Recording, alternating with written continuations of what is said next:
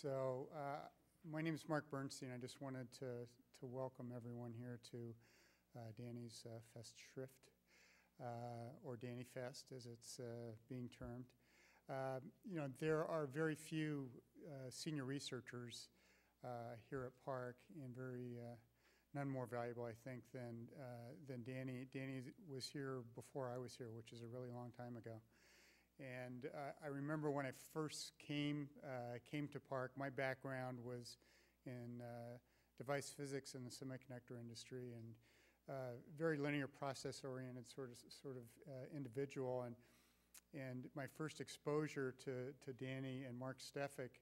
Uh, in the, in the pursuit of knowledge, I thought was a, a very presumptuous and audacious notion for, for researchers to hold. But but lo and behold, as I became more and more familiar with uh, the work that uh, Danny's been involved with here, uh, I've just become a complete uh, convert to the notion of uh, the value of uh, socio-technical undertakings and the importance that they, they hold, not just in research, but in, in society at large.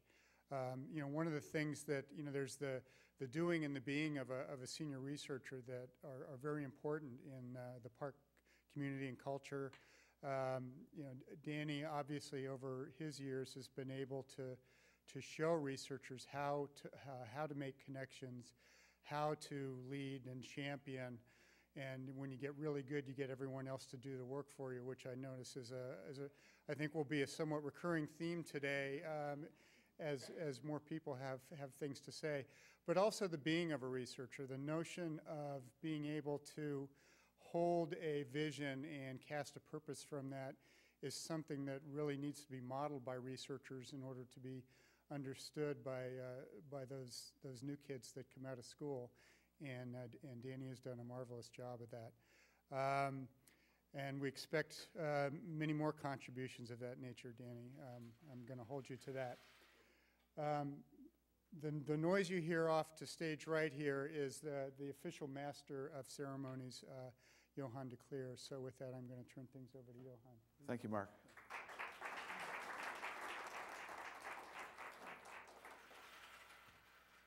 So I'm delighted that we all are here and we can uh, celebrate Danny's accomplishments over the years.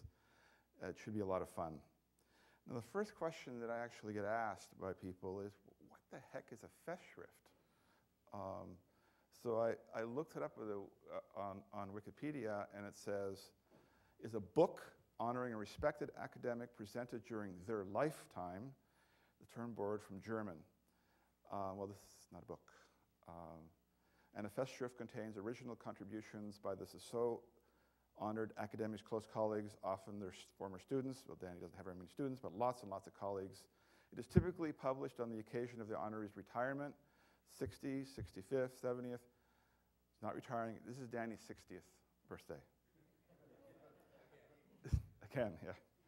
And um, writing a book is large, is a lot of work, so what, we're doing more is ha we'll have a recording of these proceedings, and that will be the Schrift.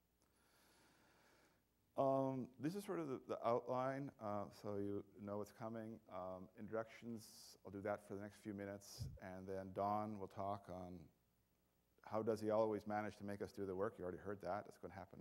Pat Hayes, following the leader, and then Mark Stefik. Uh, what does DGB stand for? That's for that's Danny's initials, apparently. Uh, some thoughts on Danny from David Israel, who hasn't, who, can't, who, who will be there, in, in, isn't here yet, but will arrive momentarily. Ken Forbus will talk about uh, Student, which was Danny's PhD thesis. And then we're going to hear about getting natural language NLP to market quickly, a 30-year story, an oxymoron. So, you know, I've been to other Festschrifts, and what people do is they do sort of like work through Danny's career um, year by year. And I, uh, uh this is sort of not what I was going to do. So I, am going to give you a little sort of an uh, other way of looking at Danny's career. The thing that I most, when you look at Danny's CV, the thing you first notice is that he has contributions all over the place.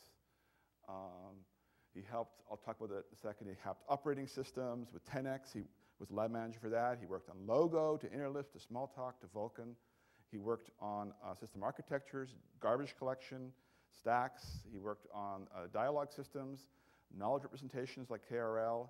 His thesis, and later on he did some more work on algebraic manipulation, natural language understanding from student his thesis, and linkage to the Powerset today. So that spans his whole career. Cognitive science, he worked with Don on memory schemata. Qualitative reasoning, he did with me. Um, he worked on socio-technical systems, Eureka, uh, which is um, a, a, tool, for, knowledge sharing tool for Xerox technicians. He worked on education, logo, from logo and to the virtual spaces like Haiti, and he actually worked, he worked on diagnosis as well. And then Dan, he has this other thread that you'll see too, is enormous service to the community, to AAAI, to the AI Journal, and cognitive science. So this is the boring part of his CV, but I'll just show it. He got his, I didn't put the date when he got it. It's got his PhD, Marvin, uh, no, he first got his BS from RPI. I, that's, that was not a good choice. And then there was a master's, which was this little liberal arts college up the, the Charles. And then he got his PhD. Finally did the correct choice, and he went to MIT. and his, his thesis was a, uh, something that took algebraic, algebra word problems you get in high school and automatically solve them. Um, which is something that was of inspiration to me and actually an inspiration to many people as it sort of opened the floodgates about what could be done by computers. I don't know how you managed to get anything done back then because computers are basically not even computers. There's more computers in my watch than the computer you used. Uh, honors, I'll just, these are the honors that hit me. Um, he uh, was involved with the AI Journal, which is a flagship um, journal of the field. He involved in it from 75 to 2001, 26 years. So he had enormous impact on the field. Um, it, was, it was sort of fun being in his office next to him because it's amazing how many people send little papers in about how they now know how to do teleportation and, you know, they got intelligence solved and Danny would post them on his wall, you know, because uh, as people things people send to the AI journal, like a third of them back then were just complete Looney Tunes. He was president of AAAI for a couple of years. Less known, he was also chair of the Cognitive Science Society that speaks to, Diane, to Danny's uh, cognitive science interest. He's got the AAAI and IJCAI Distinguished Service Awards. He's a AAAI Fellow, an ACM Fellow, and he got the ACM Software Award for InterLisp. He has 13 books, 112 papers, sorry for this, and 27 patents. Now, what I want to talk about a little bit more is the stuff you don't see in the CV. So I interviewed Danny a little bit earlier on, and I extract some tidbits from him what are not in his CV. So what I learned is he went to the Bronx High School of Science, where also Marvin Minsky went, and many other people. Some other. Anybody here from the other people from? Uh, you, Bert? Okay, you were with him. Okay.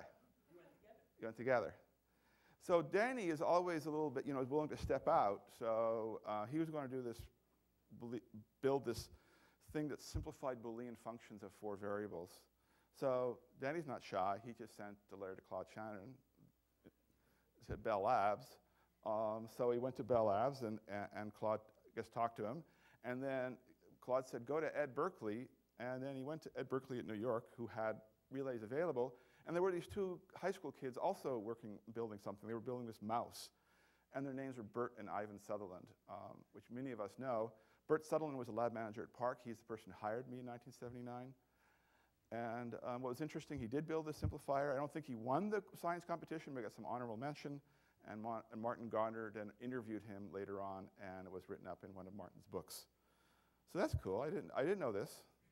So it goes, there's two other funny stories. So I, mean, I get this a little bit reverse order, but then Danny, I, for, some reason I don't understand, he wrote two books or two small pamphlets on algebra and calculus. Remember Skinner had this idea of operant conditioning and uh, so Danny wrote a book which is a program instruction. The idea is you ask a, qu a question and you get an answer, question, answer.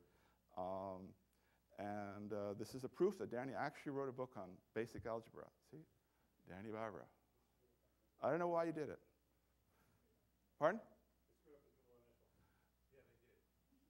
Yeah, that was, but it's not my fault. They paid me. It was a graduate student summer job. Oh, okay. So the C stands for cash, right? That was, that was probably my error, because I was was proofreading for that stuff. Oh, you were already proofreading? I was, I went down to visit him, I got hired as a proofreader. Oh.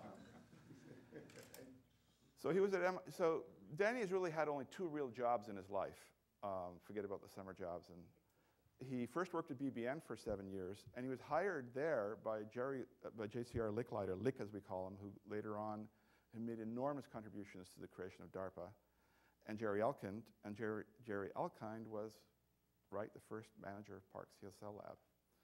And he was there with Seymour Papert and Wally Feurzeig, and that's what they did, invented logo, and he said he programmed the first logo in Lisp. That explains why logo has these Lispy things in it. I never knew that. He taught the first logo class with Seymour. And there was this crazy kid um, who had written a baby Lisp by the name of Peter Deutsch. Like he was a 14 year old. And that inspired Danny. I think Peter is sitting over there. Yeah, right.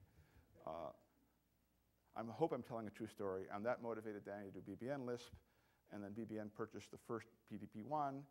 And over these times, BBN got the Lisp got developed more and became Interlisp. And, and, and uh, anyways, you know that story. So Danny actually became a vice president at BBN. I don't know if you know that.